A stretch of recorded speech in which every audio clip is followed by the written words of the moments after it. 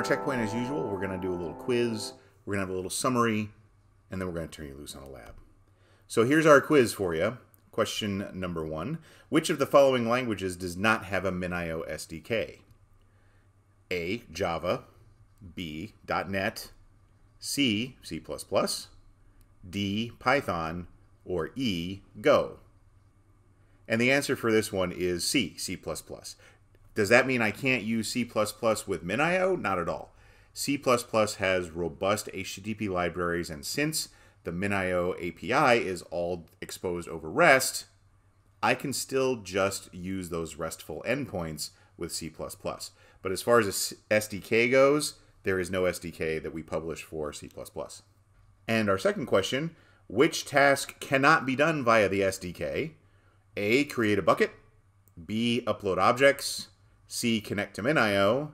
D, create a MinIO user. Or E, encrypt objects.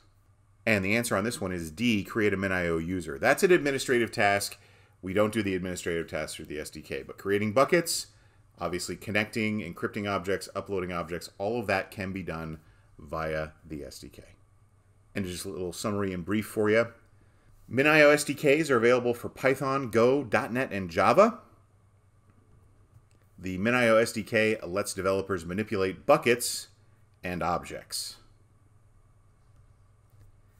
The MinIO object itself is the main object used to connect to MinIO. Now, I'm overloading the term object on this slide, unfortunately.